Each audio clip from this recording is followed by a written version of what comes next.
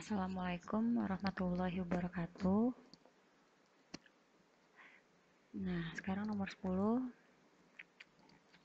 Pada citra penginderaan jauh resolusi tinggi, seperti QuickBird, kemacetan lalu lintas di perkotaan dapat dideteksi melalui hmm, jadi kita lihat dulu, ini kan pada citra penginderaan jauh yang beresolusi tinggi. Jadi QuickBird nih QuickBird ini merupakan citra pada penginderaan jauh yang beresolusi tinggi. Maka maka dari itu uh, QuickBird dipakai untuk deteksi kemacetan lalu lintas di perkotaan. Nah, jadi QuickBird itu dapat melihat secara detail secara jelas uh, apa kenampakan di permukaan bumi seperti itu karena dia merupakan citra dengan resolusi tinggi. Nah, sekarang kita lihat yang bisa dilihat pada kenampakan di permukaan bumi. Ya. Kepadatan penduduk dapat terlihat dengan citra QuickBird. Kepadatan penduduk itu terlihat dari bangunan. Jaringan jalan, jaringan jalan itu dapat terlihat pada citra QuickBird jaringan jalan itu jaringan transportasi kendaraan darat seperti itu. Jalan-jalan layang jalan underpass jalan-jalan layak pokoknya jaringan jalan semuanya terlihat ya karena merupakan kenampakan pada permukaan bumi.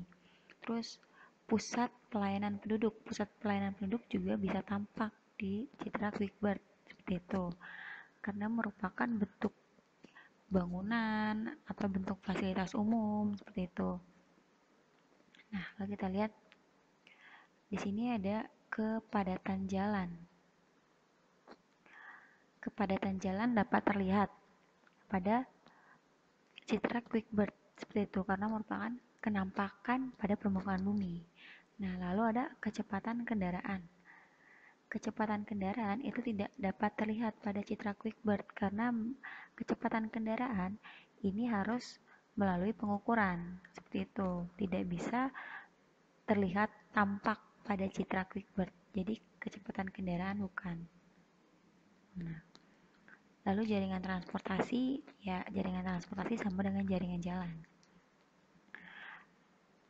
Uh, berarti yang B kita eliminasi lalu yang C penyebaran pusat pertokoan. Ya, penyebaran pusat pertokoan itu bisa terlihat pada citra QuickBird. Seperti itu, karena merupakan kenampakan yang permukaan bumi. Lalu, banyaknya kendaraan. Banyaknya kendaraan ini tidak bisa terdeteksi pada citra QuickBird karena banyaknya kendaraan ini mobilitas yang dinamis, ya kan? Yang terus bergerak, maka tidak bisa uh, tidak bisa di hitung seperti itu. Tidak bisa dihitung pada citra QuickBird nah lalu kondisi jalan. Kondisi jalan bisa terlihat pada citra QuickBird tapi karena ada banyak kendaraan jadi yang C kita eliminasi juga. Kita lihat yang D. Yang D di sini ada persebaran pemukiman. Persebaran pemukiman ini bisa terlihat pada citra QuickBird ya. Karena merupakan kenampakan di permukaan bumi. Lalu kita lihat lagi ada penyebaran fasilitas umum.